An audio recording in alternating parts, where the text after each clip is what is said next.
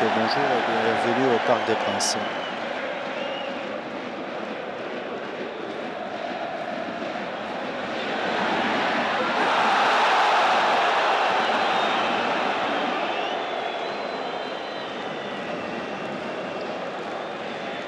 Tu m'entends? Oui. Oui. Allô? Oui, oui, je vous entends. Non, c'est bon, ça va aller.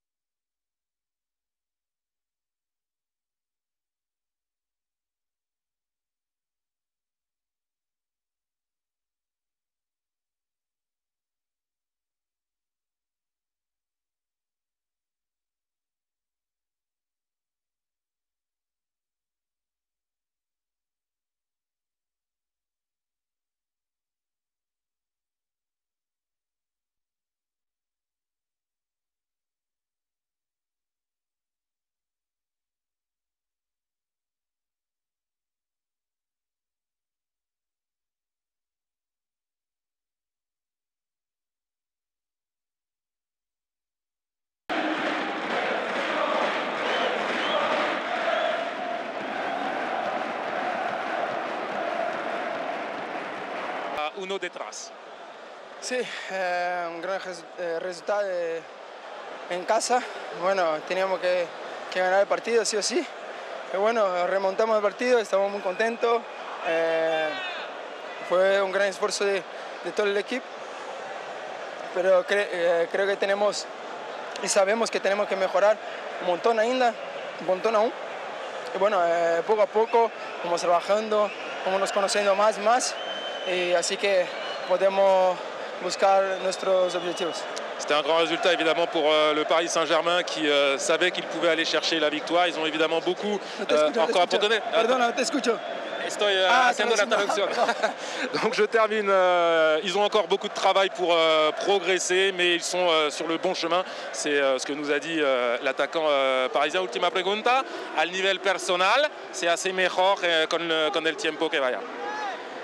Bueno, eh, poco a poco vamos, vamos mejorando, ¿no? Sí, eh, a principio de, la, temporada llevo tres o cuatro partidos, no sé, pero, pero bueno, eh, tenemos que, que ir mejorando poco a poco nuestras condiciones físicas, eh, nuestros, nuestro juego, y bueno, así, así que sigue de todo.